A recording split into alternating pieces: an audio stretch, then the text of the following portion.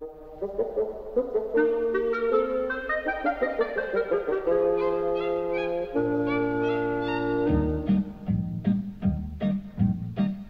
oppi grana satt kråka så grå.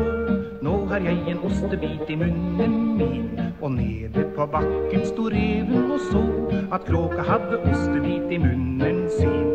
Og reven han sang tra-la-la-la-la-la. Livet er herlig og osten er rund. Syng for meg, kråke. Men kråka hun sa ingen kan synge med mat i munn. Jeg husker velmodig sa reven og sprang, mens kråka hadde ostebit i munnen sin. Jeg kan ikke glemme hvor vakkert hun sang, selv om hun hadde ostebit i munnen sin.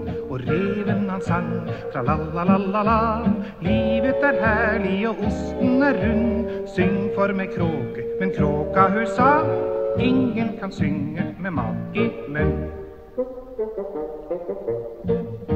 Og far din var sanger, sa reven og sprang, mens kråka hadde ostebit i munnen sin. Han holdt jo konserter, og hver gang han sang, så måtte han ha ostebit i munnen sin. Og reven han sang fra la-la-la-la-la, livet er herlig og osten er rund. For meg, kråke, men kråka hun sa, ingen kan synge med mat i munn. Til slutt tenkte kråka, nå tar jeg en sang, selv om jeg har en ostebit i munnen min.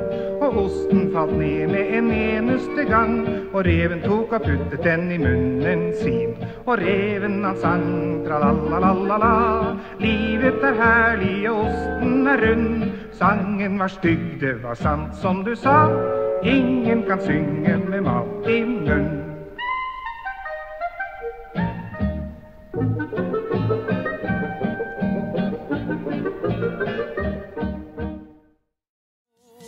What does the